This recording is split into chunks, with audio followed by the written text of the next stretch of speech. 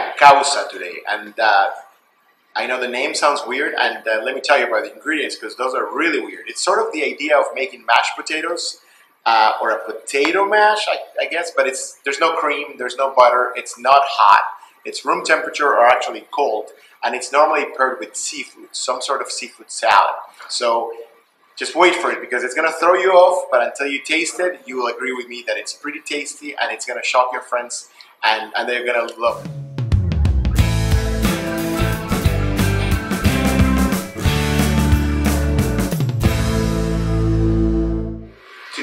Make this awesome Peruvian dish which is called causa con atún, which translates to, I guess, causa, which is a potato, sort of like a citrusy potato dish, and we stuff it with tuna. Normally in Peru, they do it with like a citrus tuna, the canned kind of tuna, but today we're gonna sort of like uh, elevate it a little bit. We're gonna make it with ahi tuna. So when we start this dish, we're gonna need potatoes, right? It's a potato dish, of course. So we're gonna need to boil some potatoes. So here, you're just gonna, and, and how many potatoes do you need? I don't know. Are you feeding two people? Are you feeding four people? Are you feeding eight people? So it all depends. A potato about this size is good for one person for this dish. This isn't a main dish. This is an appetizer. So I have four potatoes here. We're going to cover them with cold water and a good teaspoon of salt. And we're going to bring it to a boil and then lower the heat a little bit. We're going to cook them, uh, boil them until they're nice and soft. Then we're going to peel them. And then we're going to go ahead and uh, mash them, right? Now that we completed the boiling of the potato and the mashing of the potato, this is what it's going to look like. So there's nothing on it except the warm sort of mashed potatoes, right? So normally when you have something like this, you think of mashed potatoes. So the next thing we do is add cream and butter and salt and maybe some garlic, and then you roast the turkey, and here we are at Thanksgiving, right? But this is completely different. We're gonna throw you off because we're gonna make them citrusy. Weird, right? I know. So, but wait, you're gonna taste them and you're gonna be really happy. So potatoes here so far, then we're gonna add some lime juice. If you don't have limes, but you have lemons, please don't stop making this dish. Just use lemons. It's okay. I'm not going to get offended. If you find any Peruvian guys that are offended or ladies that are offended, then I would just stop talking to them. so we have some limes here. This is four potatoes. How much lime are we going to put in here? You know, limes are a natural thing. So there's no like tablespoon or, or ounce in a lime. It is whatever it is, right? So before I cut these limes, this is another little secret. We're going to roll them on the counter. I've heard of people putting them in the microwave. I think that's kind of silly. So just roll them until you feel, so a lime has these little bubbles of juice, of lime juice. That's how you get it out. So what we're doing is we're aiding or easing that juice so it comes out, right? So we have our limes cut, then we're gonna add them to our potatoes. I know it's weird, but wait. So this is a squeezer. If you don't have a squeezer, you can use your hands. Um, we're probably gonna go with two limes. I like keeping a bowl in the kitchen so I can use it as a like portable trash can that I can then dump out or compost or whatever. So we're gonna add the lime juice in here. And like I said, I think for the amount of potatoes, two limes are good. But you definitely want to taste the limes. I think because of the limes is why this dish pairs so well with uh, seafood, which is what we're doing today. Um, lime juice is in. And then I want to talk to you about what is probably the most important ingredient in Peruvian cooking, which is the ají amarillo, which means yellow pepper. Um, as you can see, unless all Peruvians are colorblind, it really isn't yellow, it's orange, right? But for some reason, and I'm not going to fight them over it, uh, they call it orange, or they call it yellow pepper, but it should really be called orange pepper. Anyways, spice-wise, it's less spicy than a jalapeno, much less spicier than like a habanero, but the flavor profile is so rounded and so good. It's almost fruity. It's not a bell pepper because it definitely has spice and you definitely want to be careful with it. But this is it. You're going to find this throughout a lot of Peruvian recipes. And uh, you can find this nowadays in a lot of uh, Latin supermarkets. It's going to be in the frozen section. There really isn't much of this fresh. So you're going to find them in a bag in the frozen section. And then this is what it looks like. I just basically cut it lengthwise and we're going to remove the seeds. Why are we doing that? To take some of that heat out, right? So the, the heat on a pepper lives in the vein and on the seeds. So we're going to remove this. Go ahead and wear gloves gloves if you want, uh, or if you forgot to put the gloves on, Make sure that you wash your hands and make sure you don't touch your eyes. Don't go put eye makeup right after this. Uh, I guess you can, but you're gonna burn. Uh, and then we're gonna end up with this. Once you have this product, what I like to do is fast boil them until they're soft, and I like to throw an onion in there, like a white piece of onion, and then we blend it. And once it's blended, it's gonna last you for a while in the fridge. So once it's blended, it's gonna look like this. So this is basically ají paste.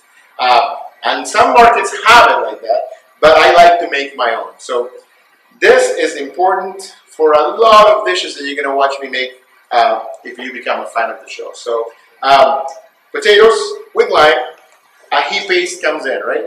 How much ají paste? Depends on how many potatoes you have here. We have four potatoes here. I'm gonna start with a good teaspoon, tablespoon goes in there, and then we're gonna add some oil.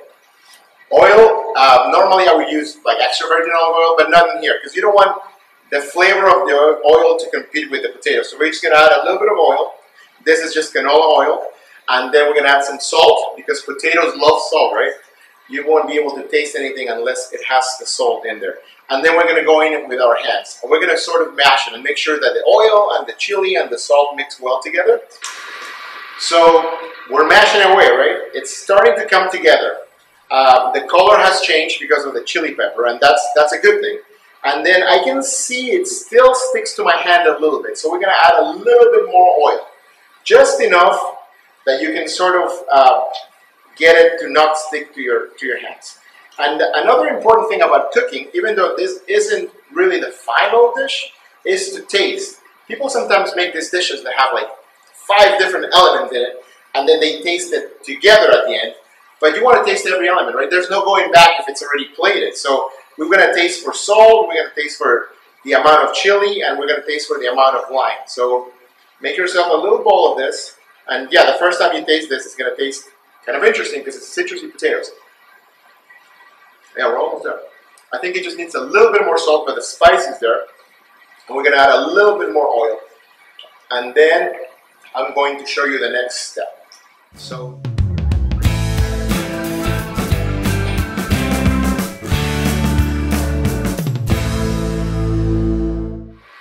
So the next part of the dish is going to make this tuna salad, which is not your classic tuna salad with mayo and celery and onion.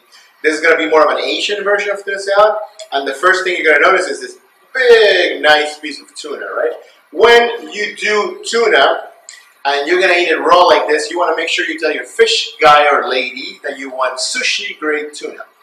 If you don't do that, and you get sick, don't come calling me, because I told you, right? So for this, we're going to do sort of a tartare. We're not going to mince it to the point where it looks like ground beef, because then might as well just use ground beef. And we're not going to need this big, big piece of tuna for this dish, so we're going to save some. And then you can, you know, keep it in the refrigerator, sear it, and make a little tuna dish with it. Don't obviously let it go to waste. I just, they had this beautiful piece, and I felt like I should share it with you guys, so, so here I am doing that. Uh, I'm, I'm just going to cut whatever I'm going to need for this dish. The easiest way to do that is to cut it on uh, sort of like sections uh, that are nice and thin. Once again, we're not going to mince it where you don't recognize that it's tuna, uh, but I think that should be more than enough for the dish. So we're going to move this to the side, um, and then we're going to sort of uh, pile it on top of each other, and we're going to cut it on strips. Uh, if it's slippery, it's because it's tuna. There's nothing wrong with it. It's just fresh fish. Uh, and whenever you're cooking, just pay attention to what you're doing. If it moves, it moves, and then you can always make your adjustments, right? Um, then we're going to turn it this way, and then we're going to come crosswise. And you're going to end up with this nice little cubes of tuna, right? Beautiful little tunas. Once we're at this stage, we're going to put it in a bowl. Um, I'm using my hands because I just washed my hands. Um, once it's in there, and I use the, the knife as a tool, not just to cut, but to move things around, uh, and then just kind of like slide things off the blade. So, so far, tuna right here, right? Simple dish. Another great tool, spoon. You have it, I know you have it, and uh, I use it all the time. So tuna right here, then we have soy sauce, and we have sesame seed oil, right? Which one's which? I don't know because they look so much alike. So what do you do? You smell them. The one that smells like sesame seeds is the sesame seed oil. So we're going to start with the soy. Soy is going to carry you for flavor and salt. We're going to add a tablespoon of that. Sesame seed oil, especially this kind which is toasted, uh, is very powerful. So don't go crazy with it. So you want to go, yeah, about that much. Ginger paste, I found these cute little bowls. Aren't they adorable? And then this is ginger paste, which means it's just minced ginger. Uh, you can buy it like that, or you can make your own. We, we made it here, and someday hopefully I'll get to show you that. Uh, ginger, another thing that's going to give you spice and flavor, so don't go crazy with it. Remember, the star of the dish is the tuna. So we're going to add probably a quarter teaspoon of that. Salt, I'm going to wait because soy sauce is here, right?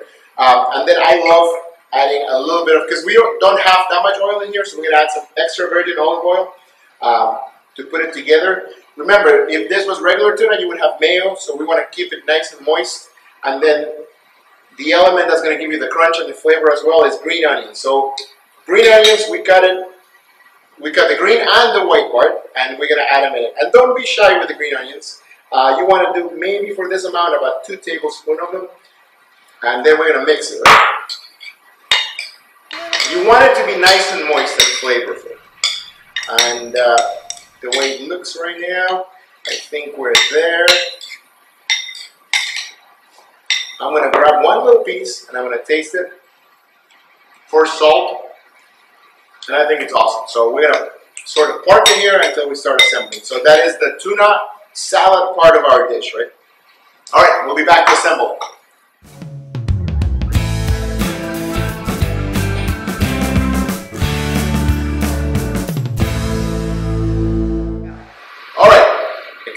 Times about to happen right here, right? So we have our tuna salad made, um, ahi tuna, not canned tuna, as you can see, and we have our awesome citrusy potato mash.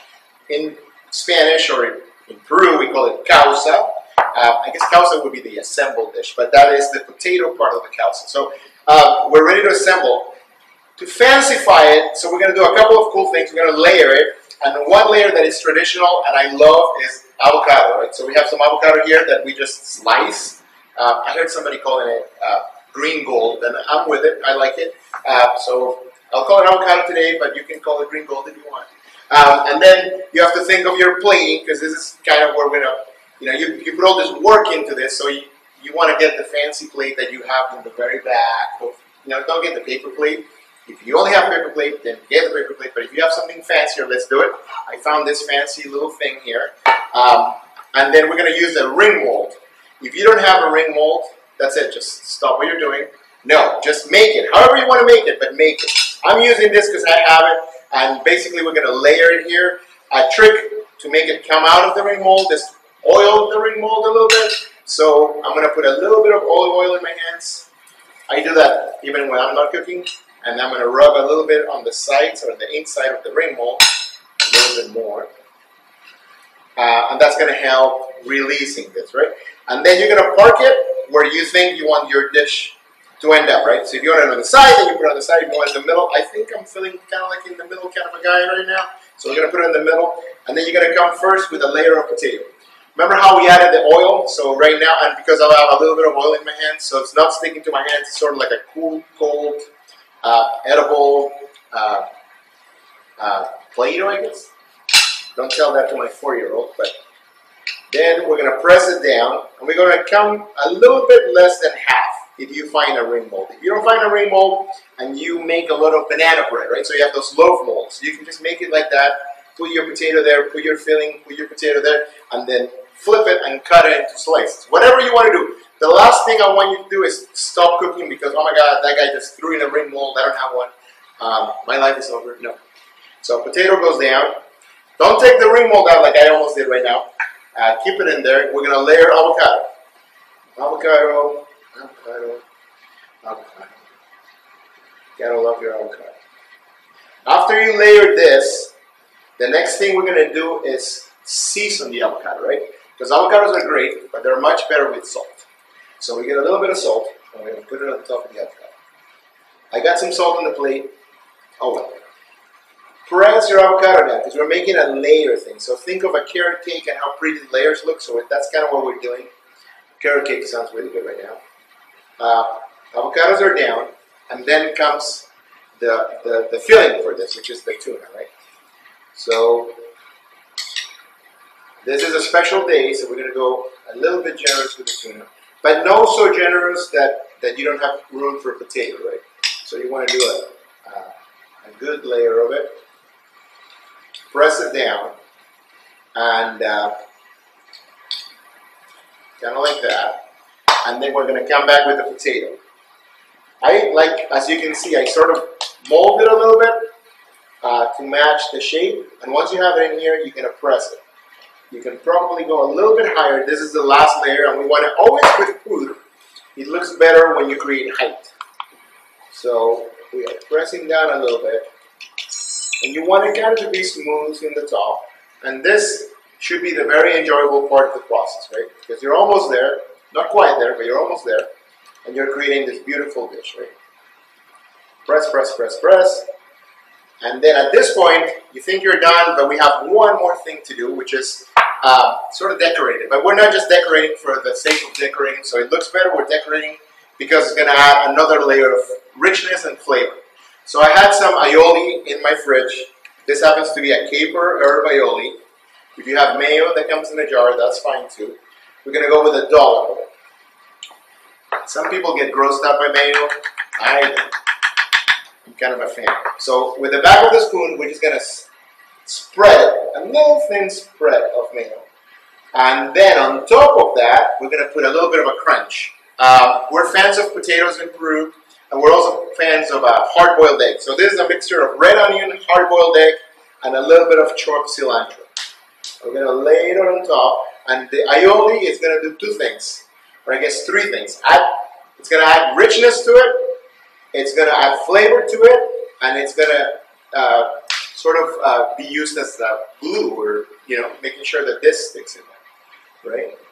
So we've done everything right, I should be able to pull the ring mold and sort of show you how cool this dish is. And then we're going to go with the fancy little piece of parsley. Um, so we're going to pull up. If it doesn't feel like it's coming out, don't worry. Just wiggle it. Just a little bit. Just wiggle it. And then you're to pull it up like that. And uh, that's pretty cool. All right, so a little bit of parsley in there. And then I'm going to move it up so you can see it over here. It's going to bring it closer to you. And uh, that's it. That's causa con atún, which means, uh, like I explained a few times, it's a citrus potato filled with ahi tuna. So we made it a little fancy. Um, and then it has a topping of egg and red onion and cilantro chopped up and, and avocado in there. Great dish for any time as an appetizer. Great summer dish, great winter dish, easy to make, and I hope you enjoy it. My mom used to make it all the time, especially on the weekends. It's not a long process, but I was always a part of the process. Mm. Uh, it's a great appetizer. It's not sort of an entree. It could, I guess, be a side dish, but it's a great appetizer, especially in the summer months. But really, all year round, it's awesome. All right, causa con atún. Our tuna dish is finished, and uh, it is my pleasure to taste it. Right. So uh, remember, it, it's it's such a cool dish, and it's not that difficult, but it looks difficult, right? So we we are definitely impressing our our friends. Please, please share this with your loved ones. We're coming in here, and I want to get a perfect bite, which is going to be potato, avocado, tuna, a little bit of that aioli on top, right? Mmm. It is so good. It's velvety. It's rich when it needs to be rich. I really, really, truly hope that you make this at home because it's so enjoyable to eat and I think you can impress your loved ones by making it. Thank you for taking a seat at my table today and I hope to see you soon.